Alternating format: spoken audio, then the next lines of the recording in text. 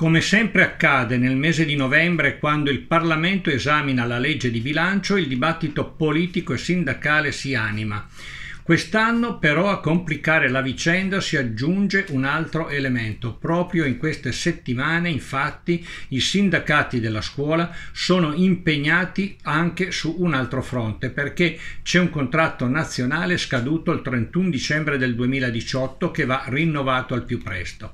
Fino alla scorsa settimana sembrava che la situazione fosse più o meno sotto controllo, poi nel giro di pochissimi giorni lo scenario è cambiato completamente. In queste ore si parla addirittura di un possibile sciopero dell'intero comparto scuola con una complicazione di non poco conto. Il fronte sindacale è di fatto diviso. Da un lato ci sono FLC CGL, Will Scuola, Snals e Gilda che, avendo perso la pazienza, hanno proclamato lo stato di mobilitazione. Dall'altro CISL Scuola che invece vuole proseguire il confronto con il ministro per tentare di ottenere qualche risultato.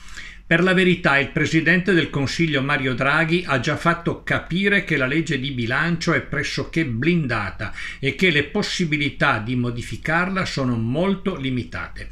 Soprattutto sarà pressoché impossibile aumentare l'entità delle risorse disponibili. E così per ridurre il numero degli alunni per classe bisognerà inventarsi qualche soluzione creativa in materia di gestione degli organici.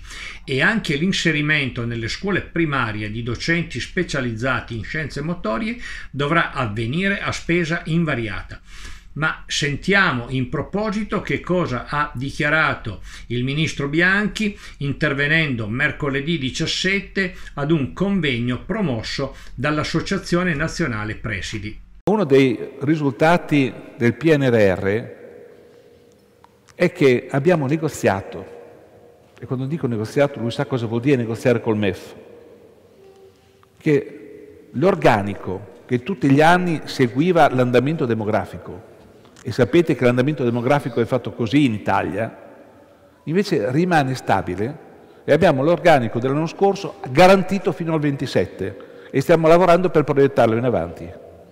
Questo fatto dei tagli, beh, questa volta per la prima volta abbiamo mantenuto stabile l'organico anche in caduta demografica.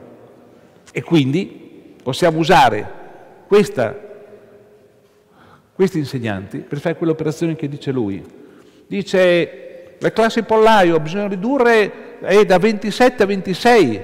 No, bisogna fare quello che dice Antonelli, bisogna superare questo concetto di classe chiusa. Questa idea di una scuola fatta a modo del servizio militare dell'Ottocento, dove quando devi prendere una persona si chiama reclutamento. Ah? Che questa era l'idea della scuola, il reclutamento. Signori, in piedi. No, nella prima bozza della legge era prevista poi anche la cancellazione della carta del docente, misura che avrebbe consentito di liberare risorse per più di 350 milioni di euro da utilizzare per gli incrementi stipendiali. I bene informati dicono che la misura era stata concordata con gli stessi sindacati, ma l'immediata reazione delle forze politiche e le proteste dei docenti provenienti dalla rete hanno indotto il governo a ritirare la proposta.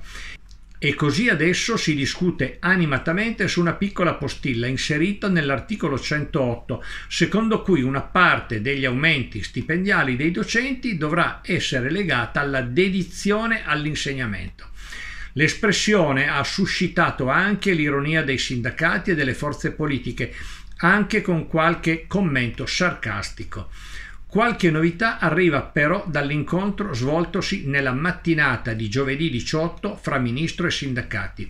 Patrizio Bianchi avrebbe assicurato a tutti che il testo dell'articolo in questione verrà riscritto e che l'espressione dedizione all'insegnamento sarà cancellata.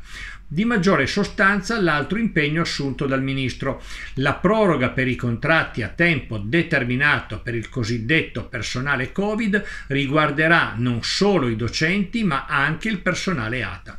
Ovviamente di tutto questo noi continueremo a tenervi informati, quindi seguiteci su questo canale, ma anche nel sito del nostro portale www.tecnicadellascuola.it.